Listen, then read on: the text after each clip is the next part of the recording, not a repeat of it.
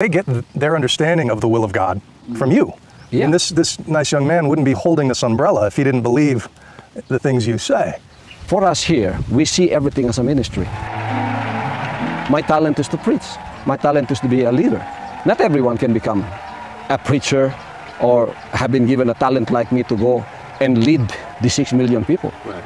But Jesus, when he, when he walked the earth, according to the Bible, uh, lived among lepers and prostitutes. I live among, among them. You have a private jet. I live among them. Before I had the private jet You're in a walled compound with mansions. we- before this, I lived among the, these people. Like, for example, that jet that you're talking about. Do you know that in 1983, I had the revelation of that jet? That the Lord is going to give me that. Yeah? It is Him who gave me that. If it is not His will, how can I afford that? Well, Kibaloy has been accused of kidnapping and brainwashing by the parents of at least one of his followers, but he was never charged. there are three possibilities here. You are either the son of God, or you're delusional, or you're a very successful con man. I respect your pa niya, point. di ba kasi hindi lang naman siya ang nag-iisang ano doon, leader partner. May mga sigurado. Sabi nga niya doon sa kanyang ah, statement, di ba? Even yung kanyang mga kasamahan. Sinama na Oo, sa kaso. sa kaso. Because At of mayroon na rin mga banta, ah. Alleged Oo. conspiracy. Mhm. Kasi, ang nangyayari, kaya sila sin- sinama, dahil sa sila'y nagiging daan Oo. sa pagsasagawa ng ganitong klaseng krimen. Di umano. Oh.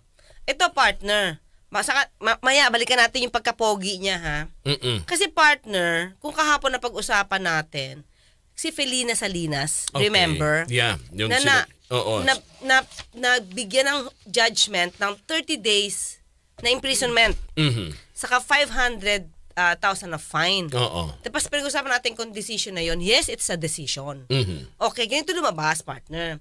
Ito ha, isa to sa kakaibang kwento, mga kayubi. Kaya makinig kayo mabuti. Ayan, sige. Okay?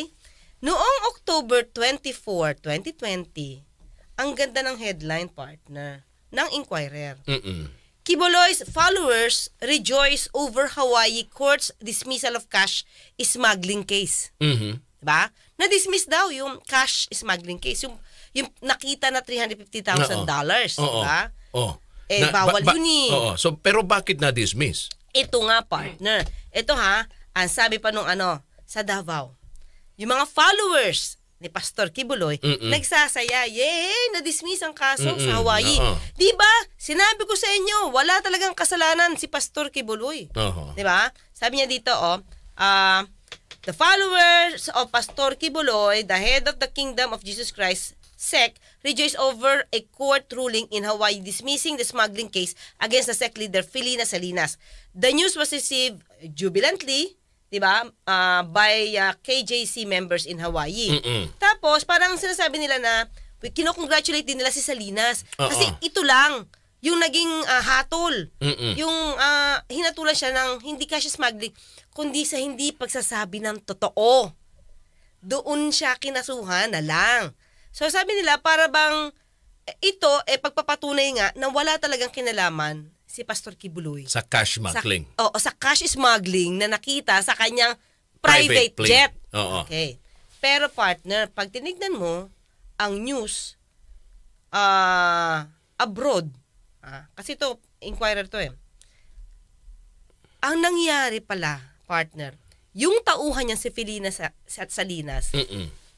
umamin na lang Na? sa kasong mas mababa. Parang plea bargaining dito. Mm-mm. Na ito yung kasalanan mo, pwede po ba, wag na tayo maghatulan, ah, mag, ah, ano na lang po ako, magpi-plea ah, of guilty na lang ako doon sa mas mababa. Mhm. So, nag-plead guilty itong si Salinas, yung tao niya, for making false statement. O ano ibig sabihin nito, partner? Inamin niya, eto, basahin ko mga kayubi. Mhm. Salinas admitted she lied. Nagsinungaling daw siya. When she claimed that the suitcase, may lamang pera, was hers in an attempt to protect Kibuloy. Inamin niya na hindi kanya yun. At kay Kiboloy. Oo. Kaya ang ang kanyang ang, ang naging desisyon na lang sa kanya is 30 days na imprisonment saka 500 ah, 500 pes 1,000 ano 500 dollars na fine kasi partner yung kaso nitong cash smuggling ang bond niyan 25,000 dollars Nako, malaki-laki. ang bail ang bail bond Oo. tapos pagka na ikaw ay na, na, na, na guilty Mhm. sa kasong yun partner sabi ko nga yung mga properties niya forfeited Mm-mm. So, forfeited after, Oh, partner. after ah, pag- further investigation Hindi, ah, ah, okay, ina, sabi mo nga, inamin. mm, Inamin yung kanyang pagsisinungaling. Ah. At sinabi niya na hindi sa kanya. oo. Kaya siya ah, nag ah, Kaya bumaba, bumaba. na lang. Kasi Oo. umamin siya sa kasong, yung talagang ginawa niya. Mm-mm. Making false statement. Oo. Sabi niya niya dito, she was also charged with accessory after the fact for helping a person Oo. with the initials A and Q avoid arrest and prosecution. So, anong nangyari dun sa money smuggling? Wala na.